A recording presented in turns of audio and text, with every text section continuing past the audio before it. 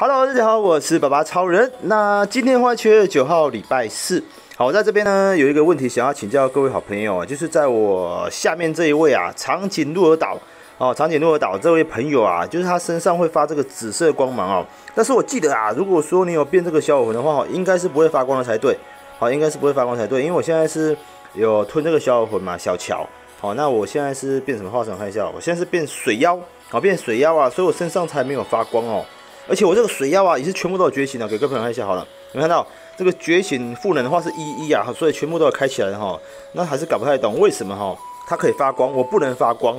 哦，我看一下蟑螂好了，蟑螂，好变蟑螂，好也是没有发光哦，所以搞不太懂这个机制啊，这个为什么会发光哦，真的是搞不太懂。我记得我之前在打国战的时候，有看到有一些朋友啊，哦他是呃吞，哎他是吞大魂哦，但是他一样会发这个橙色的光芒。好，那这个就哎，等一下，我现在小魂刚好没有了哈，所以我现在身上就发这个橘色光芒了。OK 啊，对对对，要打打那个打那个天降哈，要快点过去，不然的话会来不及。荒野修炼，哦，如果各位朋友你们知道的话哈，再跟我讲一下。好，来，荒野传送光，好，我们都在这个荒野市区这边打天降了。然后分流五，好，分流五，所以通常在晚上九点钟。然后荒野四，然后分连五话就会看得到我了。好的，好，我妹的话什么也在这边集合了哈。对对对对对，好，我我展示给各位朋友看一下。好，我现在打天降的话，基本上来讲都是第一名，好，都是第一名，很少第二名，而且是遥遥领先的。我现在的话没有吞小魂。OK，好，出了出了，哎呀，来不及了，来不及了，太慢了哈，太慢了，太慢了，好，有点慢点了。很纳闷，我看一下现场有没有就是吞小魂又会发光的。好像没有看到啦，好像没有看到，是不是长颈鹿的岛它是 VIP 玩家的关系才所以才发光啊？因为它蛮常上这个国战排行榜的，也有可能哦，就是额外的一些 buff 的功能。这个擦掉，这个擦掉。黄功夫，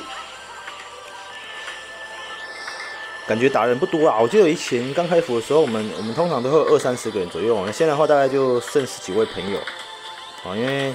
这个天降啊，哈，有打没打，其实说真的也也影响好像也不太大，因为现在军团的钱啊，哈，军团的钱算蛮多的，好又出了，好以前的话是大家都很缺这个，哦，很缺很缺这个币啊，好，你这个币来买东西，但是现在的话，我我想每个人应该都身上都好几十万，跟我一样，哦，也不知道买什么东西比较好，所以就打也好，不打也好的话，应该是这样子，看一下我是不是第一名。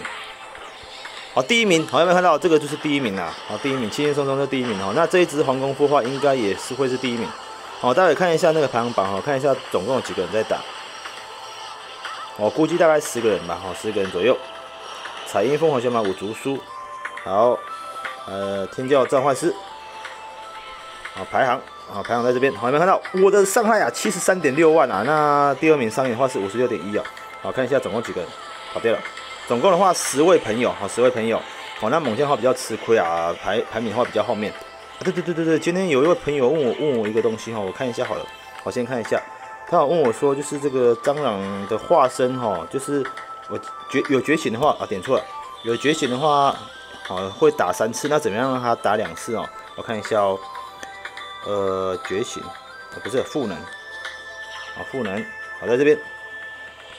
我看一下哦，额外效果二，好，额外效果二的话，就是短兵加持十二以上的话，就可以有额外这个冰雹加两次效果啊。所以如果说要打一次的话，只要拿加十一的短兵就可以哈，拿加十二以下的短兵就加十一下短兵就可以了。OK，那我那我跟他讲错哈，我要跟他修正了，好吧？